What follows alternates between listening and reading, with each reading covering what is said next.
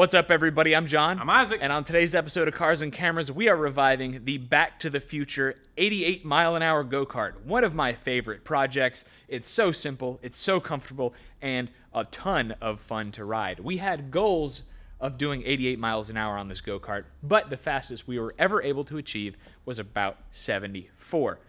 We still might hit that number one day, but we are just really held back by aerodynamics. So today, we are going to bring it back clean it up, and install some new performance goodies. The main thing being the new Juggernaut torque converter driver from GoPowerSports.com. You can check it out in a link in the description of this video. Honestly, I know nothing about this driver other that other than that people on Facebook are like totally raving about it and they say it's amazing. So I've never even seen one, so I can't wait to see it. exactly. So we have one at home we need to take out of the box and we can install it on here with a torque converter and uh, have some fun and see what it's all about. Okay, we have to come clean about something, everybody. We tested this go kart with E85 last year, and then we left the E85 in the tank, and we left the carburetor on with E85 in it. Of course, it was all for science. Of course. For science, just to test the long term effects of leaving E85 in an aluminum carburetor, which everybody says never do. We're going to find out right now. You know, it's been like six months since this thing's been sitting with that fuel in it. Yes. Just been baking. And it's so dirty, man. Mikey's yard was nasty. Yeah, that was a good time. Though. That was a that was such a good. That time. was the time you crashed this thing into a ditch, a big ditch. Pleasantly surprised. Heyo, that's crazy. Dude. Look at the jet size, man. I forgot how huge it was. Yeah, man. The 30% rule on E85, 30% more fuel than regular gasoline. I think we took that to the extreme. I mean, it ran great. Yeah. But, dude, um, it doesn't look bad. I said we throw a new jet in it, clean it up a little bit, and we can keep her moving. Okay.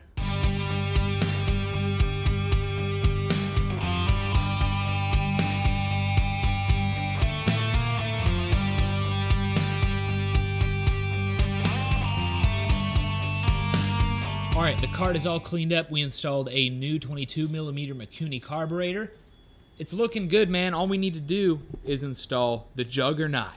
So let's go ahead and take the original clutch off. Yeah. We can install a torque converter. All right.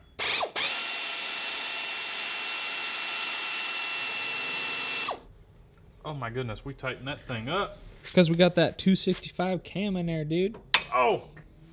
Didn't want it going anywhere. Are you ah, okay? The shock through the wrench was bad. You've been a good clutch, but I'm sorry. So we're having a fitting problem with the 30 series up against this chassis. It's not the engine's fault. We've had 30 series on 212s like over half a dozen times. So it's this cover mounting uh, piece. Yeah, yeah, and the so, engine on, or the chassis engine plate. So hopefully we just trim off this little boss and it'll probably be good. Yeah. And it'll make it explode.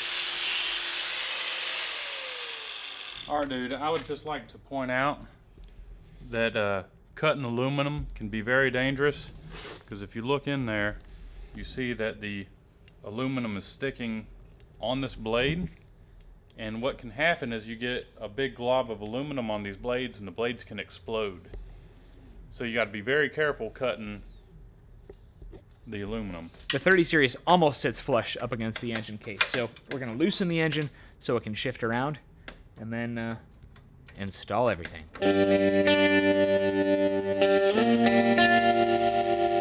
So the new Juggernaut driver is kind of mocked up.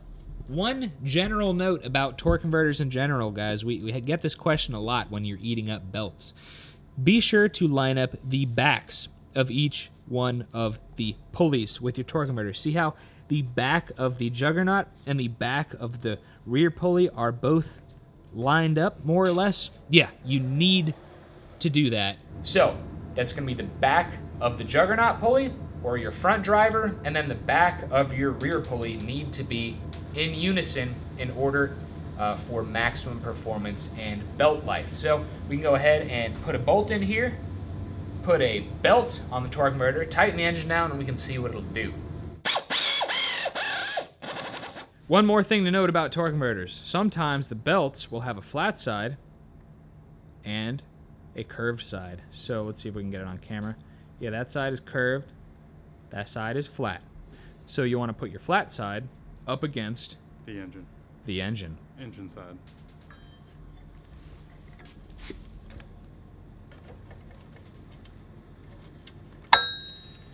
Sweet. So I like torque converters because they have really good low end torque and they act like engine brakes when you're going down hills. But usually you trade off uh, the acceleration in the top half of your power band as well as a few miles an hour of your top speed.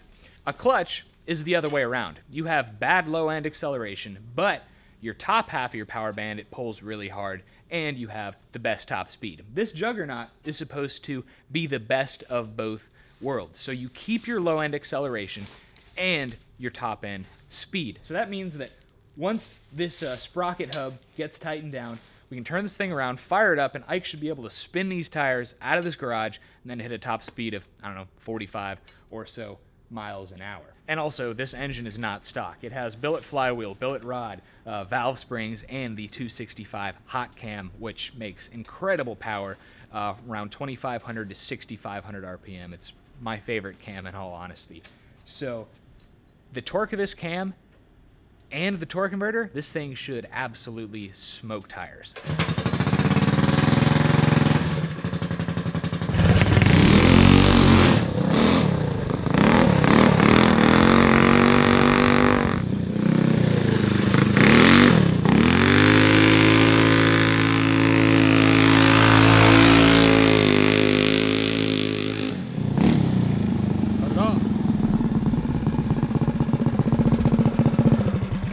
So we got some smoke.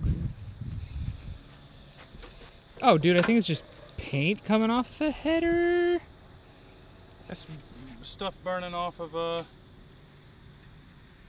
Nope, nope, we got something leaking, dude. oh, it's coming out of the, uh, Oh, we got no crankcase vent.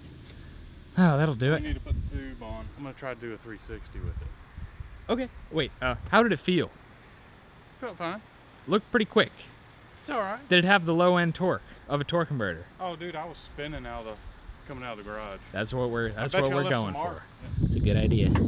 So, slinging it around and over full with oil, that'll happen.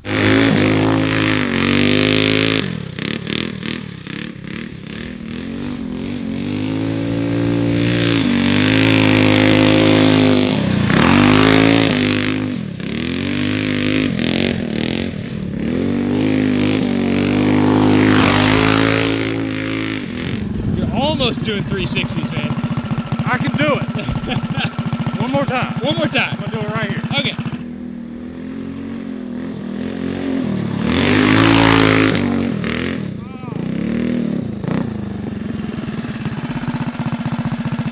All right. Well, I'm sure you can do it with a little more space.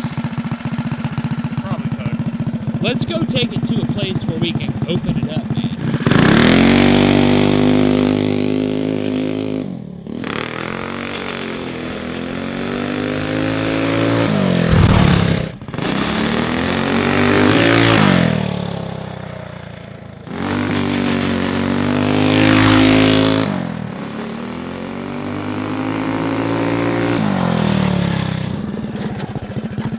How's it feel?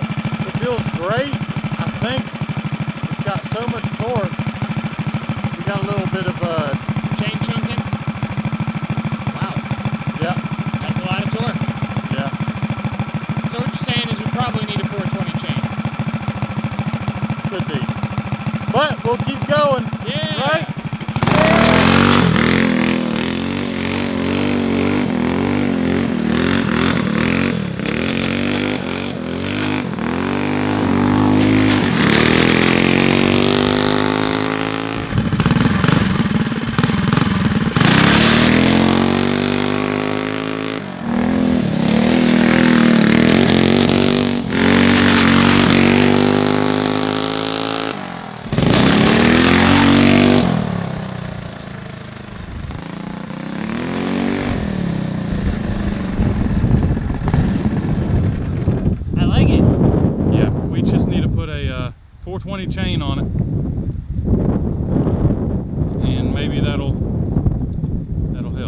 Help. The chunkiness anyway. Yeah. But uh, let's go inside because it's so windy out. All right. So we have confirmed that we are skipping the chain. We can see it on the sprocket on the rear pulley of the torque converter. It's all shiny. So uh, it might even have a little bit better acceleration if we were to switch it over to 420 chain and sprocket, which is just beefier and can handle more torque. That's never happened before. No, for us. no, this is first. Yeah, it definitely has amazing low end. Um, between the Juggernaut and the cam we have in it, it it's like you hit the gas and then a second later it feels like you're already, you know, revving 4,000 RPM. The acceleration is nuts, and it gets to the top speed super fast. If you do want to check out the Juggernaut, check it out at a link in the description of our video. And if you want to buy it, let our sponsor Go Power Sports know that Cars and Cameras sent you. I thought it turned out really great. Performs much better top end wise than a uh, than a regular driver on a 30 series. So I mean, yeah, like we've said over and over again, Juggernaut plus 265 hot cam. Holy cow! It's a beast. acceleration. Yeah, you hit the gas, and then two seconds later, you're already at the top end of your power band. So it's awesome. Uh, anyway, uh, check us out on Facebook and Instagram in between videos for sneak peeks on what we're up to at Cars and Cameras Reviews. Uh, support our future projects by picking up a t shirt or a sticker at cars-cameras.com. Lead us out, Ike. Check me out, Isaac. It'll be fine. Thanks for watching, everybody, and we'll see you next time.